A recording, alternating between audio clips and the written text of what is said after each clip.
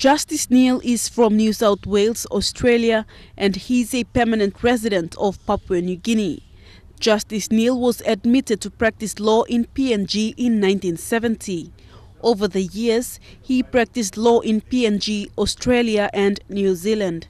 In PNG, he provided legal advice for many years in both the public and private sector and has a vast knowledge and experience in civil and commercial proceedings.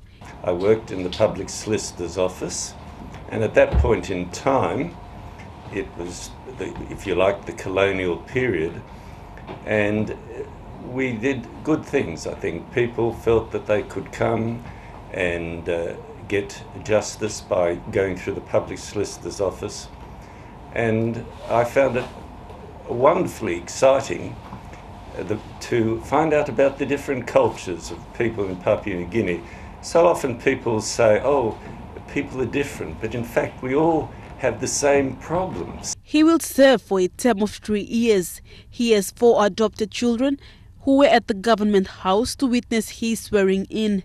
The swearing in now adds the total number of judges to 40 plus. CJ says Salamo said more judges are needed to cater for the pending cases, especially the criminal cases. Apart from that, on the whole, uh, again, with the increase in the number of judges, we should see disposition of criminal case moving a lot, lot faster. But I've said before, that an ideal number of judges to really move cases a lot faster than uh, we are doing at the moment is uh, about 60 to 80 judges. However, budget constraint is one problem that the Commission is facing when planning to appoint judges. So obviously, uh, budget constraint is one. The next is, of course, the availability of sufficiently experienced uh, lawyers to be appointed to the bench the pool of experienced national and non-citizen lawyers obviously increase.